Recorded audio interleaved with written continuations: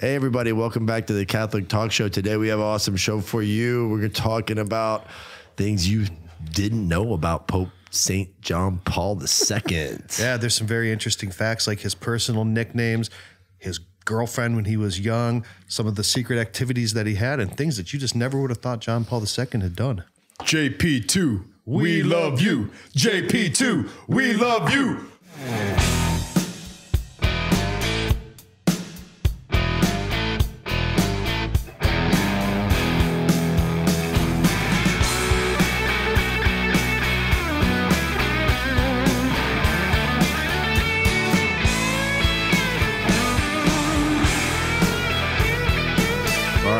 The studio with Ryan Scheel and Father Rich Pagano. It's good to be here with you. Great to be here in beautiful Southern California, Cast Media Studios, right off of Sunset Boulevard. It's gorgeous. All right, right in the middle of Hollywood.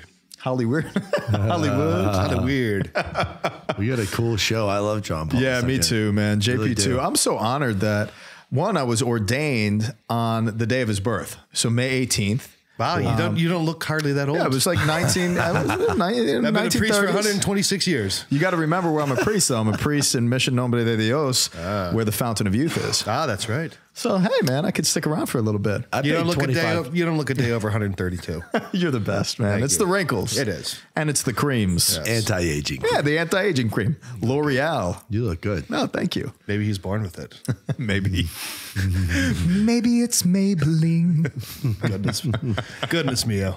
so no, this is this is a really cool episode. Obviously, JP2 is a huge influencer uh, in and around the world in politics and theology and philosophy as an academic, but also World Youth Day, theology of the body. I mean, this guy had it all, and he has one of the most impressive deposits of ministry as a pope, and certainly has been very influential in our own individual lives Yeah, as well. I fit, he's like my Pope Yeah. growing up. And you I know? think he'll be our pope for our whole lives. Yeah, I, I think you know it's only been 15 or so years since he's passed, but I don't think that we've even come close to scratching the surface on the impact that he has had and that he will continue to have. He really is one of the lions of history, and um, as as time goes on, unpacking his legacy, unpacking his work, I think is going to have just a continued fundamental impact on Western society and and the world. And before we unpack that, especially even unpacking this in our episode today about JP2, we want you to get on that computer and subscribe going to the website, CatholicTalkShow.com. And we've got all these wonderful ways that you can listen to us or watch us YouTube, Spotify, Stitcher, Google Play. And make sure that you're following us on social media. Twitter, Facebook, Instagram. We're continuing to build our traction in all of these different social media angles, and we want you to be a part of every second of what we're doing as the Catholic Talk Show. So make sure you're there. And guys, we really need your help. So please consider being a patron and go to our website for our Patreon app, which is Ryan Scheel. Patreon.com forward slash Catholic Talk Show. Do it. Uh, you can go there. it. You can see opportunities to help support the show to ensure that we can continue making the this uh, program, and that you can also get opportunities to get uh, exclusive content, really cool things like coffee mugs and Cool sweatshirts hoodies, and hats and all kinds of These are really comfortable hoodies, by yeah, the way. all, They are. all kinds of mega dope Catholic talk show um, swag. Mega dope Catholic swag. All right. So let's get into John Paul II's uh, life and some of the things that people probably didn't know about him. So, when you think of a pope, you really typically don't think of their baptismal name. You think of their their uh, pontifical name, and and John Paul II is it's iconic. That it's JP two. Um, but do you know his real name? What his name was? Karol. Karol. Yeah. For Karol? Charles, it was like a derivative of Charles, like Well, an English version of Charles. Yeah, it's Karol. Karol Joseph Wojtyla. Yeah, Karol Joe. Yeah. Charlie Joe. Charlie hey, yo, Joe. Charlie Joe. Yeah, Karol. Like if you think of Charlemagne, Mm-hmm. uh, he would have been Karol. Mm-hmm. So it, really, Karol is Charles, but Karol he is really the like a Charlemagne mm-hmm. type name. And it's not Carol with a C, people. It's Karol. It's with a K. That's right. Yeah. Um, so because of that, it is like you said, basically a form of Charles. That's the Polish version of Charles. and he was um, named after his dad, so he's like technically a junior because it's it's the same exact middle name. That's right. I mm-hmm. didn't know that. Mm-hmm. Joseph But do you know what his nickname was growing up? Lolek. That's right. Lolek. like Charlie, like a like you know, Hey, Chucky. little Chucky, Chucky. No, let's not say Chucky because then I think of Chucky. No. and sliced up. You know, while. JP2 is writing Love and Responsibility, Chucky's doing something very, very differently. He's doing damage. yeah, he's doing damage. Yeah, for sure. Yeah, so I mean, it's it's it's difficult to think of this revered, uh, this this saintly pope, and then think of him as you know just a kid. Where people are like, "Hey, Chucky, Charlie, come over here and let's play soccer." You know, so thinking of him and and knowing that people called him Lolek, which is like you know a very diminutive form and a very familiar form of like Charlie. It, it's really pretty cool. It is, and I could. I've I've been so privileged to walk around Wadowice in Poland, where he grew up as a kid, and his house, man, is right behind the church. And he was an altar server, and I prayed right next to where his baptismal font is. And um, you know, he would pray at that baptismal font, remembering his baptism, even as an adolescent. And then, as a pope, he came back and prayed at that baptismal font as well. It was a constant source of contact with where the springs of salvation really transformed his life. So he was always meditating on that. Yeah, and then that's basically where he grew up. Is a essentially a suburb of Krakow, correct? Yeah, exactly. So you can fly into you can fly into Krakow and then you're in Wadowice in you know less than two hours. I mean, it's it's not that far of a drive. Oh, that's oh, no, that's not that bad. Now, in that area where he grew up, there was a very there was a very mixed community between ethnic Poles and ethnic uh, Jewish Poles. So it was a very mixed neighborhood, and there was a lot of Polish uh, kids growing up around him. And uh, he was all growing up, according to all accounts, very. Um, I would say ecumenical. He, a lot of people had a lot of prejudice against the Jews of Poland, uh, but he was not one of them. Uh, there's even one story that when he was young, he was they would play soccer every day, and typically it was the Jewish kids versus the Catholic kids.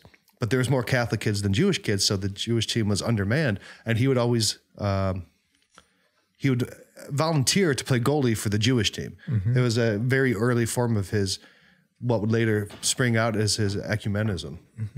Yeah, his ecumenism is truly inspiring, and you could see that early on in his childhood. And I could imagine seeing that type of division on the on the field of sport with soccer, or, you know, as you mm-hmm. as you call it, football, is is important to see. And it was also his perception of what sports can do sociologically and how it can break down barriers. Mm-hmm. Mm-hmm. You could see his greater teachings as it relates to sports and sociology that is just so profound and something that I truly loved reading when I was 20, 21, 22. Heck, I still like I still like reading that material.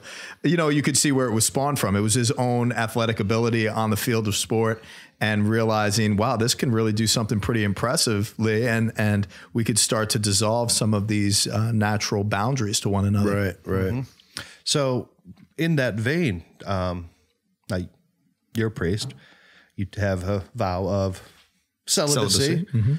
Um, but it wasn't always that case. You've you've had girlfriends, right? Oh, I definitely have. I've had quite a few, you know, growing up. And but John Paul II's first love, you know, with a woman was the Blessed Virgin Mary. Wow. you know, he was consecrated after his mother died. He was consecrated to the Blessed Virgin Mary in a local town there, and I visited and, and prayed before the icon that he was.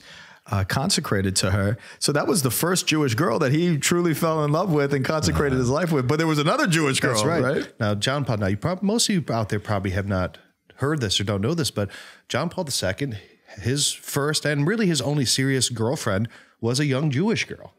He dated a young Jewish girl, and I love her name, Ginka Beer. Ginka Yeah, beer. Ginka beer. Ginka Beer, which I think is a microbrew out of Portland. I'm not sure. but yeah, um, John Paul described her in his later writings as a Jewish beauty with stupendous eyes and jet black hair, slender, and a superb actress. Yes. Yeah, he liked that. Sounds too. pretty. Sounds pretty enamored with her. you know? Yeah. And I, and I've spoken. I've spoken to so many priests who obviously have had you know romantic relationships, and um, It's healthy. it's very healthy. It's very know? normal. Yeah. Yeah. And I, I think that still having a fondness for them, it's not something that uh, has to be completely stricken from the heart. Um, it's something that a lot of priests carry with them and can carry with them the proper fondness for that that former relationship. Oh my goodness, I don't know where I would be if I didn't have that. It, it's it's almost necessary. I think it's almost essential In- for in- somebody who is in formation to be a priest to have human love. You know, like uh, experience with another, you know, um, another woman. And What kind of experience are you talking about, right? friendship, courtship, you know, Even romantic infatuation. I mean, that's yeah, crushes, you know, like that kind of stuff is very important because you're giving that up for the, the greater glory Yeah, and, of and having that proper exploration of those feelings um, is, I think, proper to discernment. Mm-hmm. yeah. Because if you don't have them, eventually they're going to crop up, Right. and you're going to have to deal with that sooner or later. Yeah, It, it was funny. There, a priest friend of mine. He's an older priest now. You know, he's he's well into his sixties, nearing his seventies, and he's just one of the most active priests I know. He's out and about, and he's doing all sorts of stuff everywhere, just serving. He's he's been such an example of priesthood and a great support to me as a young guy. But he got a text message from, you know, women like his junior by maybe 20, 30 years, right? And he knows these he knows these girls from the time that he did, you know, youth ministry with them years ago. And they message him because they take care of him, take care of him left and right, you know. And from your three wives, you know, and, and it was a picture of them and they were smiling and stuff. It was real it was a real cute message. But it's true. And I think I think of, you know, women in my life, the women of the church, man, if I didn't have that feminine presence in my life, you know, calling me to the greater deposit of my ministry as as a priest, as a celibate, and that tenderness and that femininity, you know, in my life, it, it's it's what truly consoles me in the midst of the the toils of my life. And certainly, you know, I think of I think of the uh, Kankowski, you know, family down in the Kankowski clan down in San Diego, and how much they were a support to me and um, you know, and and taking care of me. You know, it was just it was just a tremendous gift. So for sure, and and having that in a balanced way and having that in your life, I think only promotes greater health of vocation for sure. Absolutely. And JP two always had that, and he had he had very very close relationships, not only with this this Jewish girl, this actress, but also with women throughout his life that he was very very close to. With And proper wrote- boundaries, but then, but, but also fully taking advantage of the, the feminine genius. Yes. Yeah. And he wrote uh, amazing books on love. Oh, yeah. You know, And poetry, a lot of poetry. and it's like what you know some of the the greatest books on how to I mean, of love and what the meaning is and fulfillment in that is coming from somebody who's a celibate. Have you guys ever? It's, and no, it's so true. It's amazing. Well, and I, I, I look at my life, guys, and it's, I'm constantly doing marriage prep, marriage counseling, marriage ministry, and it's every day for me. And it's such a wonderful privilege because I get to learn so much about the complementarity and the difference between man and woman, drawn together in a special sacrament and called to this unity. You know, and and called to be one. It's it's a process, man. It's it's a pilgrimage in and of itself. Yeah. And I get to look at that and analyze it and study it, learning, gleaning from each individual couple, and then being able to share that. And I've been doing that for 17 years. Yeah, you see so many times people say, "Well, what does a priest know about marriage or love? He's celibate." Well, I don't know. What does an oncologist know about cancer? He's never had cancer, right? I mean, you've studied this day in and day out. You've studied this in seminary. You've studied in real world application. You deal with this every day. I mean, I would dare say that you are the subject matter on it. And I think that's you know, very common with the, the priesthood. So, uh, and with John Paul II, I think that was eminently apparent with him. Without a doubt. Yeah. His work with couples in the and when he was working in the college for a while and and uh, you know, I could just picture him up in the mountains when they were calling him uncle because of communist reign. You know, like he he was he was taking care of a lot of couples and really guiding them in preparation for marriage. For sure, I know that. So here's a couple other things you probably didn't know about him is that you've seen the Terminator, right? Oh yeah. Where they go back in time and they're just trying to kill John Connor because Yeah. he's going to come up and change the world. Yeah. I feel like there might be some sort of that going on with John Paul II because there are so many times he almost died. Oh, yeah. Really? And oh, absolutely. I think there was hell was out to get him. And he he persevered with the help of Our Lady. But um, when he was 15 years old, uh, a friend of his, they're they're you know horsing around with guns, and he pointed it at you know Lolek, and accidentally the gun went off. And I mean, it was point blank, and they were and they're like, I don't know how that missed you. That it was they like it's like essentially it went through you. Playing with guns, not a good Don't idea. play with do it. guns, guys. Gun safety. Yeah. Hello. If there's kids listening to this, don't play with guns, all right? Get proper gun training. Get with the program. Owning Yeah. a gun goes kids. along with proper Hey, kids, education. listen. Don't play with guns, kids. It's not a good idea. Hey, this is Uncle Ryan. You don't go playing with those guns. So yeah, so that was one time that he almost died. The guy uh, hit by the bus. well, he got hit by a Nazi truck. Nazi truck. Isn't that crazy? Yeah, he's walking down the road coming I home love from work JP2's life, bro. during the Nazi occupation of Poland, and a Nazi truck blasted him, Yeah. Knocked him unconscious. He's lying half dead in the ditches, and they picked him up and. In the ditches. In the Yeah, ditches. well, they did. Because that's where you lie after These- that, after you get hit by a Nazi truck. Well, these stupid Nazis hit him and they just keep going. And there's Karol Wojtyla dying in a ditch after getting crushed by a Nazi truck. Someone comes along, finds him, takes him to the hospital, and he and he makes it. It's so crazy. And he was like on their hit list, the communists. I mean, like he was he's been on a number of people's lists. you know, it's crazy. He's had a crazy life. But that experience really helped him to say, yes, I think it is time for me to really consider my vocation and really make that jump into discernment for the priesthood. yeah. So Which a lot of people did back then. in yeah, a lot of people sure. got hit by Nazi buses and trucks And and, immediately to become became a priests. priest. Yeah, during that time, that was actually the ordination process. It was a vocational. yeah, you got to get run over by a bus. the vocation office. That was their plan. Mm-hmm. Get a Nazi truck, run over some people, man. priest. Boom. It's and then brilliant. boom. You hear that, kids? don't you go hopping out. Don't front run in traffic. Have some gun safety and don't run into traffic. Okay, we're covering So then a lot after of ground. that, another thing a lot of probably, ground. probably another thing you didn't know about that is that he had to join an underground seminary because you were not allowed in Nazi occupied Poland to be in seminary. Yep. So he was in an underground seminary and he got his priestly training there. Now, when the Allies were liberating, well, actually, it wouldn't have been the Allies. When his when the Nazis were leaving because the Soviets were Come pushing them out. The the seminarians who were underground had went and they're like, okay, the Nazis are out of town. Let's go reclaim the seminary like that day because it had been occupied. Well, it was in a it was in bad shape, and this is something that you don't know, is that it was freezing there, and all the pipes had busted, and the whole large areas of the seminary was were covered in frozen excrement. Ooh, wow. Gross. So there was a handful of seminarians, and Ew. John Paul volunteered to take an axe and a shovel, break up these giant mounds of hmm. Poops. Dung heap. break them up with an axe, shovel them out, and carry them away. That was his job to get the seminary back together. Bro, we need JP2 back, man. He needs to clean up the poop. he, I mean, he cleaned up a lot of poop in his day. He did. Literally. Yeah, I know. And figuratively. Yeah, and figuratively. right?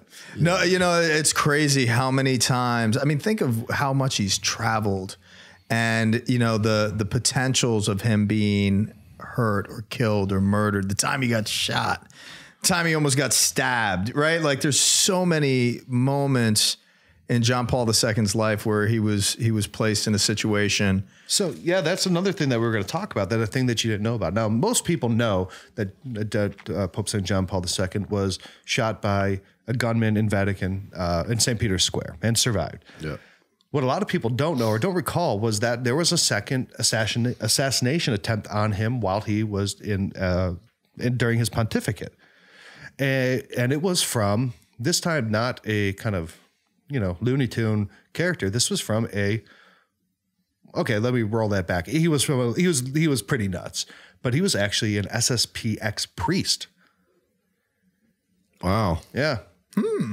Now he was A little Lulu. little Lulu. They kept they kept that under wraps though for years, right? Yeah, well, no, no, they kept under they kept under wraps the fact that so this SSPX That he was priest, an SSPX priest. they kept the well. See, there was debate as to whether or not. So the SSPX said that he had been dismissed from the order two years prior.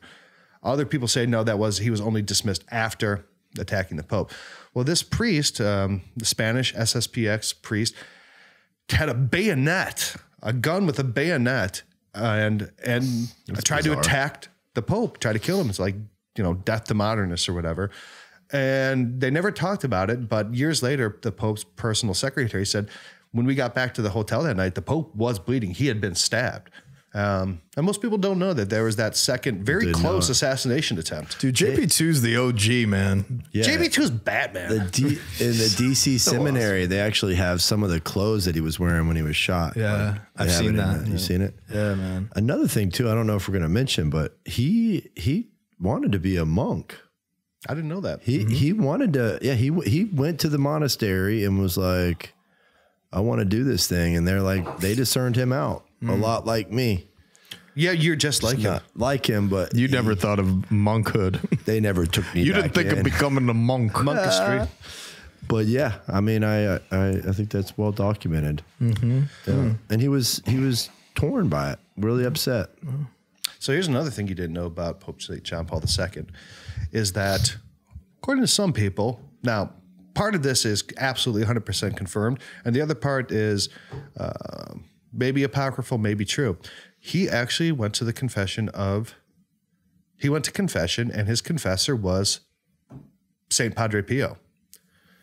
And according to some, Padre Pio during the confession said, basically prophesied that he would become the pope one day and this was in 1960s and padre pio prophesied that something along the lines of now i've given confession to the pope And you know that that story, a lot of that is legend. But um, but I actually- always, but him going and getting confession from padre pio is a fact you know, he he actually he did pilgrimage down to visit Padre Pio without a doubt. That's right.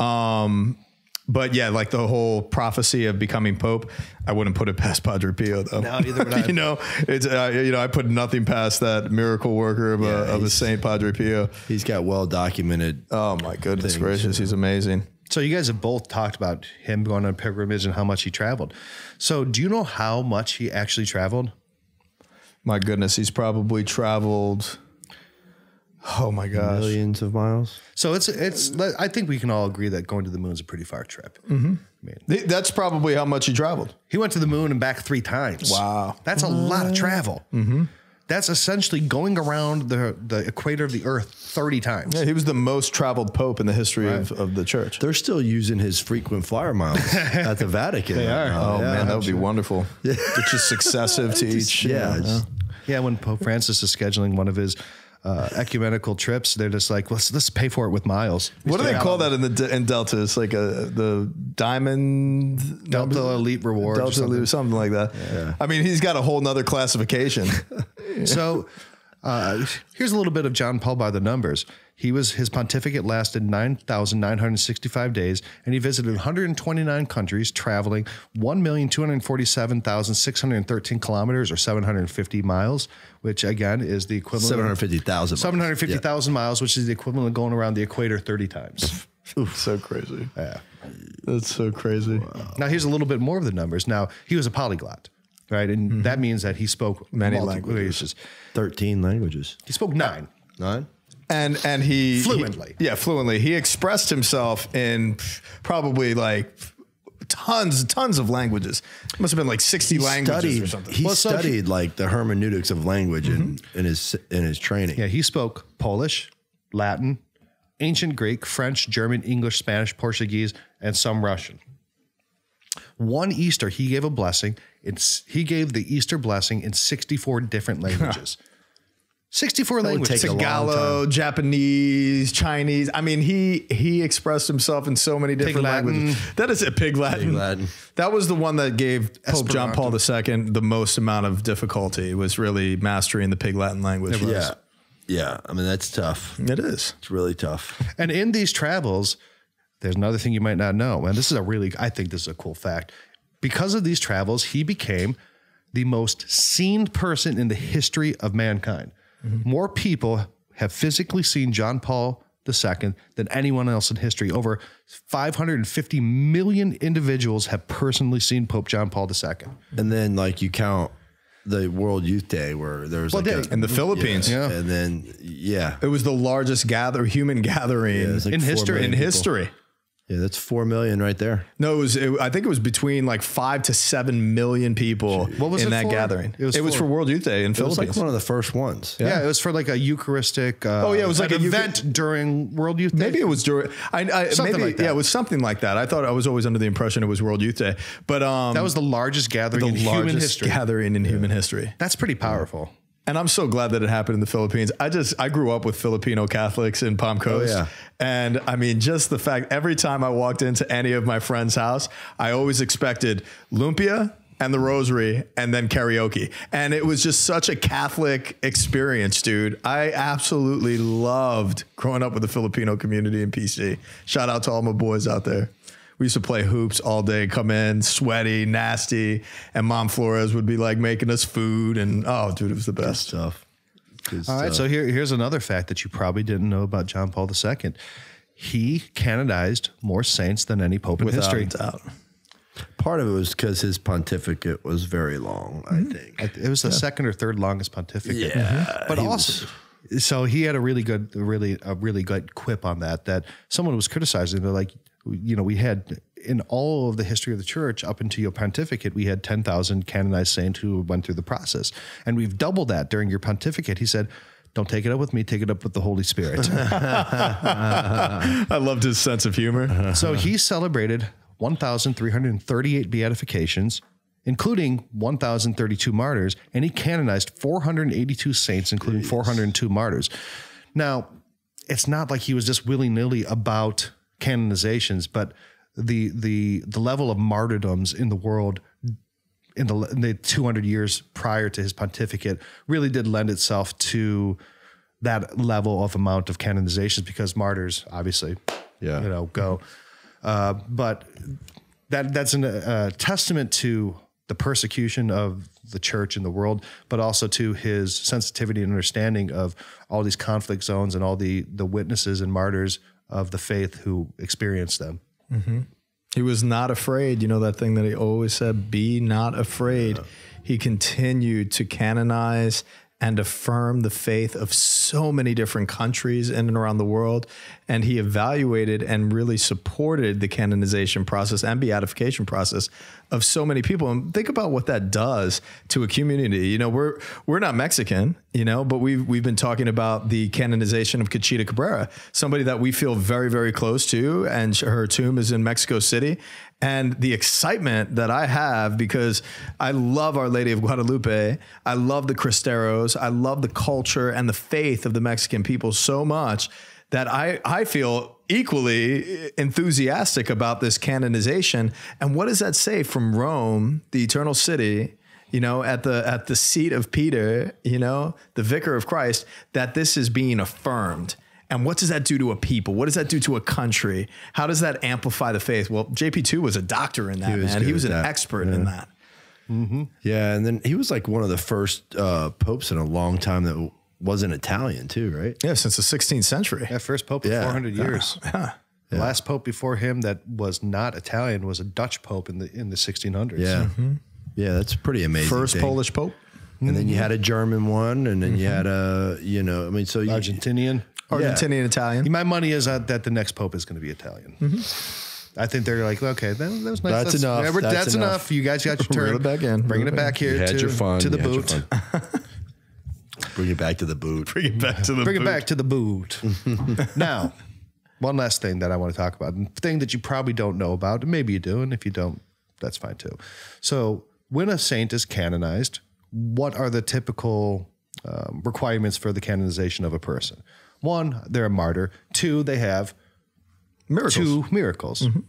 So, well, do you know what the two miracles that led to Pope St. Mm. John Paul's canonization? Mm-hmm. I don't.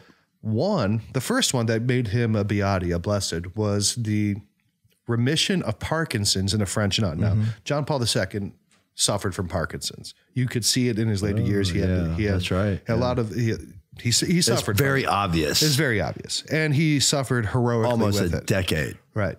maybe more. Well, a, a French nun, um, just very shortly after his death, prayed to John Paul II, and her Parkinson's was completely alleviated, alleviated and gone. Oh, And that was completely backed up. So That's great That that was the first out. miracle. Now, second miracle, the one that led to him being canonized, was to a, a Costa Rican woman named Flor Beth.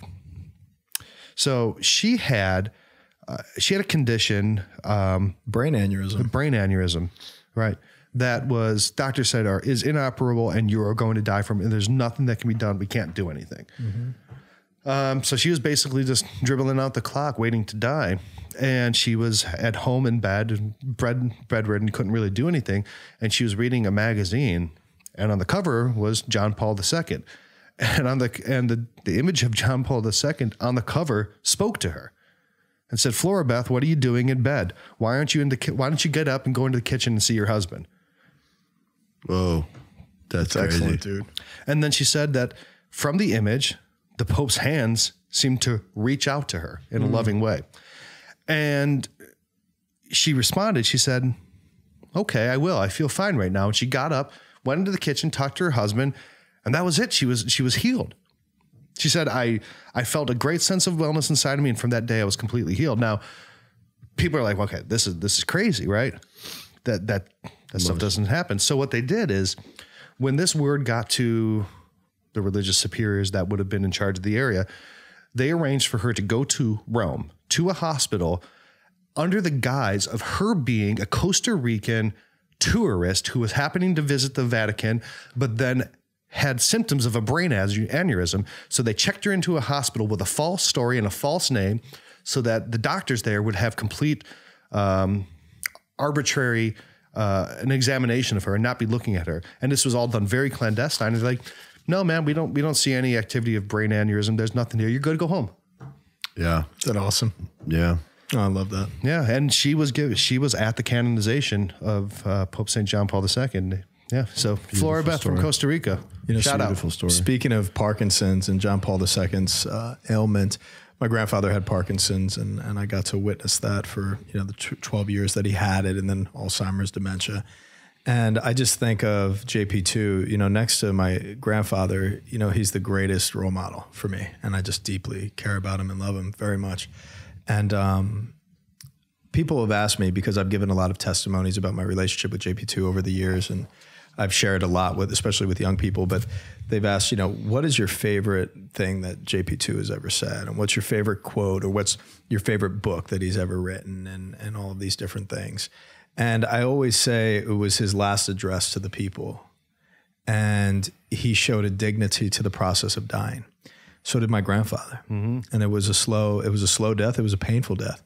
And It was a heroic death though too. but then that's the that's the whole idea is that you know we shouldn't we shouldn't shy away from the natural process of death because there's something very very heroic and the same words of JP2's motto be not afraid you know it it digs down into the deep deepest roots of our human fear of the unknown that is the veil of death and, you know, he spoke so eloquently of that when he was willing to get up on that microphone after being trached. He was very intentional about that. He was very intentional with allowing his suffering and his his dying and his slow death being very public and being very aware to people because he mm-hmm. was using it as a teaching and an instructive moment. So, catechetical. And then when he stood up there and mustered as much strength as he possibly could. I remember that. After being trached. And I've, I've had that experience of how raw your throat is. But on top of mm-hmm. that, you know, he's got Parkinson's, his muscles are failing. Years of he's that. dying years of that.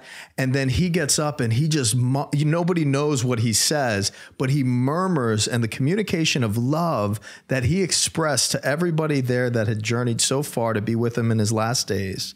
You know that I mean, man, that made me that that was a handkerchief moment for in my such life. a power, for such a powerful communicator and someone who was so articulate and such a, a philosopher and a, and a poet, Brilliant, and he'd written so much that one of his most powerful communications was so feeble and so barely there. And it still was able to be incredibly powerful. Showed he understood communication at a deeper level than just words, but really as the the the the uh, union between two people exchanging awareness, and that's that is a very powerful lesson. And that's a lasting word that will reverberate through history. And in me, that has left the greatest impact is that address more so than any others. And I was so privileged. I got to actually be there, receive a blessing from JP2 and be at one of his audiences. But it, none, it doesn't even hold a candle to that, to that expression of love and shepherding. And it was a, it was a very uh, fatherly, uh, you know, expression. Another thing too is he had a photographic memory. So he would he would meet people and in 10, 12 years would see the same people again in a random audience and say, Hey, Bob, how are you doing? Isn't that amazing? I pray for that gift, man. like- I am like the complete opposite. I, I'm the exact opposite. know. I, like somebody tell looks me in the eye, tells me their name, and then I forget. It's out of my head, yeah. and and I'll I'll remember faces. I'll remember experiences. Yeah, I'll remember like no, I, I know that I've, met, met you, this person, yeah. But oh man, I wish. But I that just shows the care that he had for people, oh. that, the, how he valued all the every oh, there- person. Yeah, I think he was an extraordinary person in that. Regard. Me, I just really don't care. Yeah. no, that's not true. I really do. It's don't have the capacity. I don't have like my brain doesn't operate that way for some reason. I don't know what it is. Some people I meet, I I get I get their name like immediately, and Yeah. it sticks. Others, it's like, I'm sorry, what's your name again? Yeah, it's Mm-hmm. What you Ryan. gonna do? It's Ryan. Yeah. Okay. Ryan. Right. Ryan. Ryan. Come on, man. Well, what an awesome, what an awesome episode, man! Big, big love out to the Polish people, our Polish listeners. Yeah, and there's so much more about John Paul that to discover. And I just I think we'd all encourage you just go read more about his life. Find because there's there's a depth to his story and his life that really can't be summarized in just the Cliff Notes version of it. Uh, but some of these are some of the things that give you a little bit more insight into some more personal things of him and things you probably didn't know. But I, I really I couldn't encourage you enough to go and study this man's life because it is instructive for every human being to whether you're Catholic, Christian or agnostic or not anything. He is a line of humanity and someone that should be modeled. And if you haven't had a chance to read Gift and Mystery, it's his autobiography. It's not a long read whatsoever.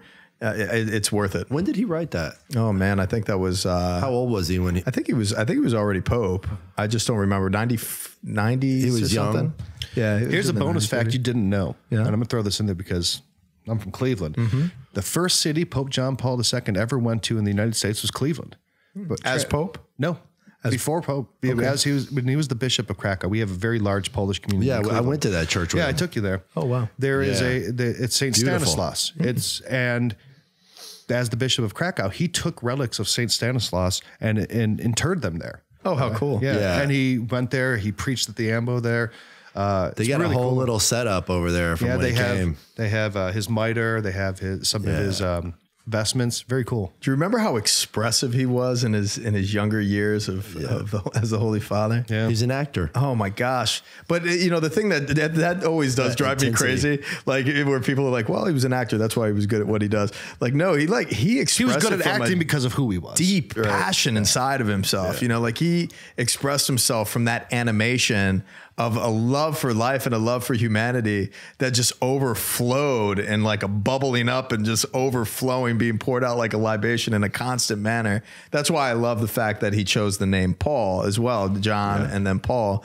And after John Paul I, but even the the names themselves and the and the personages of Scripture, you know, like Paul was that witness to the world. He was that evangelist that was out, and he was a nomadic priest. Yeah. that's what I love about JP two. He was a nomadic pope. But then he also had that con- con- contemplation of John, who who stayed, didn't leave the cross, who stayed with Mary in uh, Ephesus, who was the interior theologian, the the, the theologian of the of the apostles. So he had both of those characters, and I think you're right. He really did exhibit the charisms of both John, Saint John the Beloved, and Saint Paul the Apostle. contemplative in action. And that's what diocesan priest is supposed to model. Mm-hmm. I see more of a modeling of a nomadic priesthood returning to the world, returning to the vocation. And hopefully bishops will, will start to see that as well, because I think it's necessary for the health of priests as well as the health of these different communities that need to be served in diversity.